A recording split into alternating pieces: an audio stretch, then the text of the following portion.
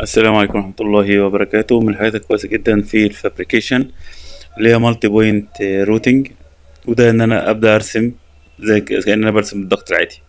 تمام؟ بس هنا هيبدأ يحط هو ال fabrication. يعني هبدأ أقول له ارسم لي. فهو بيقول لي إذا كنت عايز ترسم ب slope ولا لأ.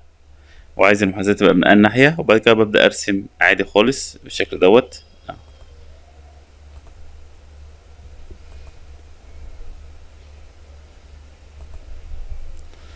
وتقدر تيجي هنا في أي لحظة تقول له أنا عايز أبدأ أرسم من هنا لهنا هو يبدأ يوصلهم ببعض بالشكل دوت.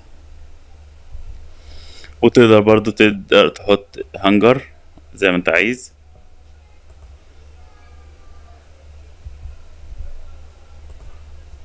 أهوت.